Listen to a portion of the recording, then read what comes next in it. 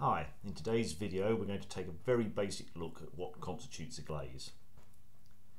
A ceramic glaze is essentially just a glass coating surrounding the clay body and it generally consists of three components in the uh, majority of cases. A glass former, a flux and a stabiliser. The glass former is generally silica based and you can find silicon in all sorts of things. Uh, you find it in beach sand, you can get it in clay. Uh, probably its purest form will be quartz.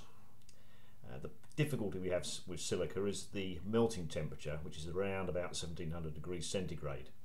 Now that's way higher than the majority of kilns will reach.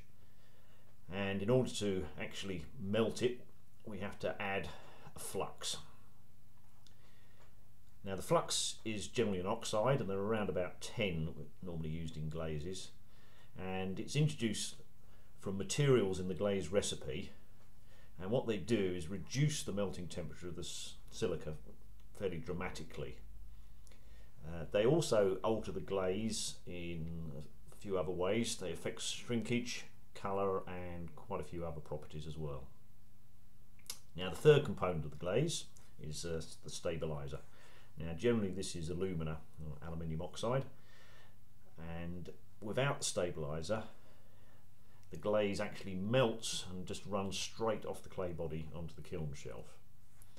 So what the stabiliser does, it suspends the glaze components in the mix and it alters the flow characteristics and also the uh, final hardness of the glaze. The proportions of silica, the flux oxides and alumina contained in the glaze are adjusted by the materials that we actually use to make the glaze. And each material that's used uh, may contain one, two or even three of the necessary components. But it's not necessarily in the correct proportions.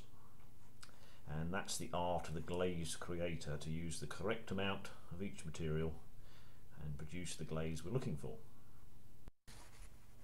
That just about covers it for absolute basic glaze chemistry.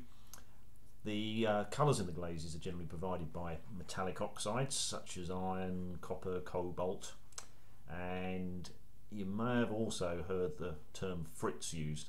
Now these are uh, manufactured glazes and they're actually crushed and sold as a base glaze and they're useful because you, you're able to buy them with a known quantity of the essential glaze ingredients so they can be really useful as a starting point. Anyway, thanks for uh, watching the video. If you liked it, please do press the like button and maybe subscribe to the channel.